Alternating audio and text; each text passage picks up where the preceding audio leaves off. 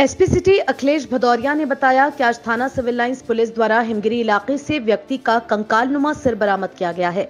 सूचना मिलते ही मौके पर पहुँचे CO Civil Lines Arpit Kapoor. Inspector Civil Lines Gajendra Singh ने सिर को डीएनए टेस्ट के लिए भेज दिया है। एसपी सिटी ने बताया, पिछले दिनों चौकी फकीरपुरा क्षेत्र में एक सिर कटी लाश बरामद की गई थी। उन्होंने संभावना व्यक्त करते हुए बताया कि सिर उसी शव का हो सकता है। सिर और बॉडी का डीएनए कराया जा रहा है, इसके बाद ही कुछ कहा जा सकता है।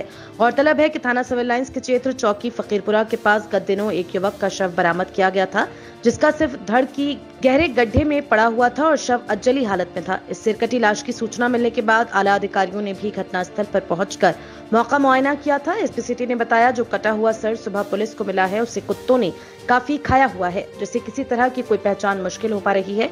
इसलिए सिर के कंकाल को डीएनए टेस्ट के लिए शव के साथ भेजा जा रहा है। ये कल शाम को हिमगिरी कॉलोनी थाना सिविल लाइन क्षेत्र में एक कंकाल नुमा सिर वहाँ पर कॉलोनी के बीच में मिला। आसपास के फुटेज दिखवाए गए। तो एक कुत्ते के द्वारा कहीं से उसको मुँह में कहीं से घसीट के लाया गया है। क्योंकि कुछ दिन पूर्व भी जो कल जिस स्थान से सिर का कंकाल मिला है, उससे लगभग 300-400 मीटर की दूरी पर ही एक सिर कटी हुई एक बॉडी भी बरामद हुई थी, जिसका सिर इससे पहले नहीं मिला था। तो इस बात की पर्याप्त संभावना है कि ये सिर उसी बॉडी का पार्ट हो। उसको पोस्टमार्टम के लिए भिजवाया गया है।